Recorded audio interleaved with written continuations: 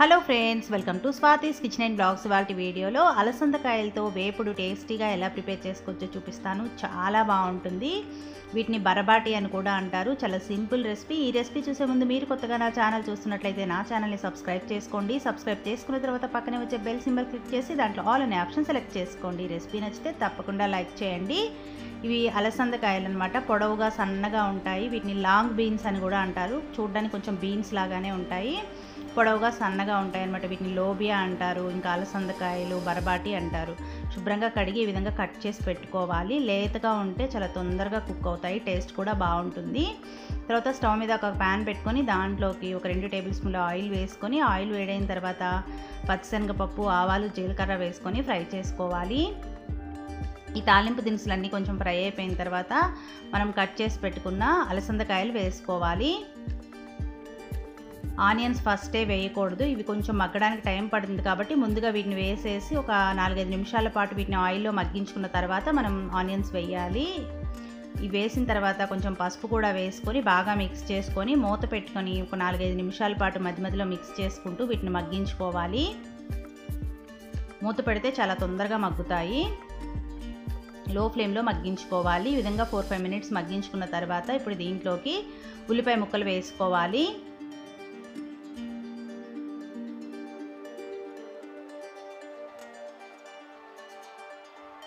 మనకి ఇవి మగ్గేలోపు ఆనియన్స్ కూడా మగ్గిపోతాయి. ముందుగా ఆనియన్స్ వేసుకుంటే ఇవి మగ్గడానికి టైం పడుతుంది కాబట్టి ఆనియన్స్ అనేవి మాడిపోతాయి.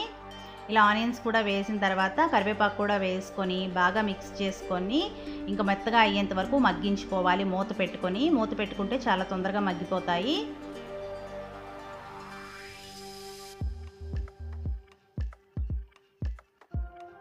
ఇలా బాగా మిక్స్ చేసేసుకున్న తర్వాత మూత పెట్టుకొని మగ్గించుకోవాలి. ఇవి మగ్గేలోపు దీంట్లోకి వేసుకోవడానికి మనము వెల్లుల్లి కారం ప్రిపేర్ చేసుకోవాలి. అప్పటికప్పుడు చేసుకొని వేసుకుంటే కర్రీ అనేది చాలా టేస్టీగా ఉంటుంది. దానికోసం ఏడెనిమిది వెల్లుల్లిపాయలు ఒక చిన్న దంచుకునే రోల్లో వేసుకొని దాంట్లో కూరకు సరిపడా కారం వేసుకొని ఇట్లా కారాన్ని వెల్లుల్లిపాయలతో కలిపి దంచేసుకోవాలి. వెల్లుల్లి ఫ్లేవర్ అంతా కారానికి వస్తుంది.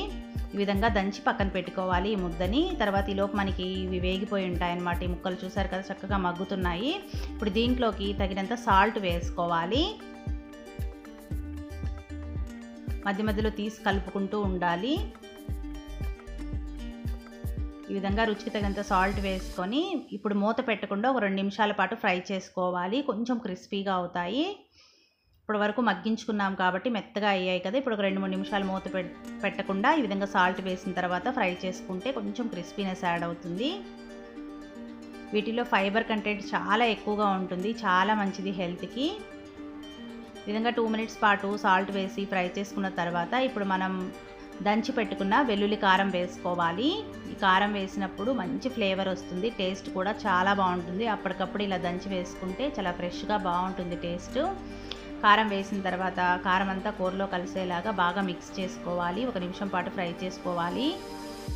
వెల్లుల్లి కూడా మగ్గి పచ్చివాసన లేకుండా ఉంటుంది. ఈ విధంగా కారం అంతా కలిసిపోయేలాగా మిక్స్ చేసేసుకున్న తర్వాత దీంట్లోకి ఎండు కొబ్బరి తురుము ఒక టూ టేబుల్ స్పూన్స్ వేసుకోవాలి. చాలా బాగుంటుంది ఫ్లేవరు ఎండు కొబ్బరి తురుము వేయడం వల్ల. ఇంకా కొంచెము అన్నంలో కలుపుకున్నప్పుడు బాగా కలిసి ఫ్రై చాలా టేస్టీగా కూడా ఉంటుంది. ఈ విధంగా కారం అంతా కలిసేలాగా మిక్స్ చేసుకున్న తర్వాత ఇప్పుడు కొబ్బరి తురుము వేసుకోవాలి. పచ్చి కొబ్బరి తురుమైనా యాడ్ చేసుకోవచ్చు. లేకపోతే ఎండు కొబ్బరి తురుము వేసుకోండి. ఒక టూ టేబుల్ స్పూన్స్ వేసిన తర్వాత బాగా మిక్స్ చేసుకొని ఒక నిమిషం పాటు ఫ్రై చేసుకోవాలి.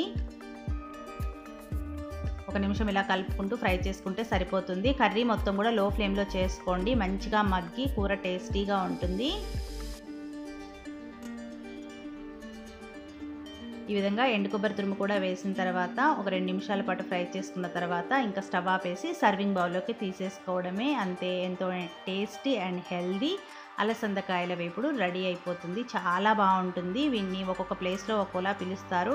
టేస్ట్ సూపర్గా ఉంటుంది. తప్పకుండా ట్రై చేయండి. ఇది రైస్తోనే కాదు చపాతీతో కూడా చాలా బాగుంటుంది. ఫైబర్ ఎక్కువగా ఉంటుంది. ట్రై చేయండి. మీకు ఈ హెల్దీ రెసిపీ నచ్చితే తప్పకుండా వీడియోని లైక్ చేయండి. Thank you for watching.